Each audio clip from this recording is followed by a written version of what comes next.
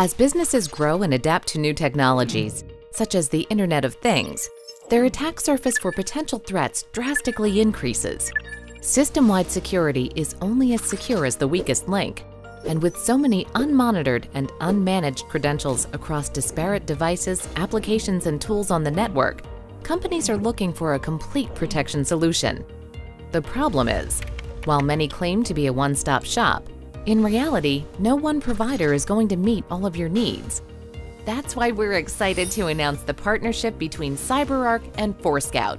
By combining CyberArk, the global leader in privileged access security, with Forescout, the global leader in agentless device visibility and control, customers can now detect, analyze, and respond to potential threats in ways never before possible.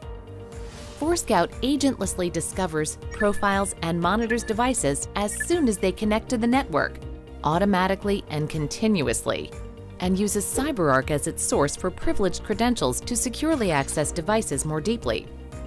Next, Forescout shares rich device and credential data with CyberArk.